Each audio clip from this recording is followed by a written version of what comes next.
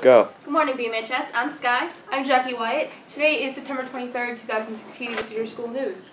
Um, uh, sorry. If anyone is interested into the into the mock trials, there will be an informational meeting on Monday, September 26th, after school in room 3109.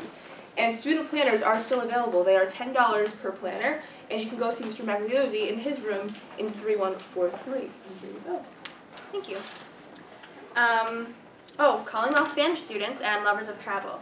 There will be an informational meeting on Monday, September 26th, after school in room 3217. A second meeting will be held for students and their parents on Wednesday, September 28th at 6:30 p.m. in room 3217. If you're interested in traveling to Spain and have questions, please go to Mrs. Sprague and Mrs. Camaso. Oh, okay.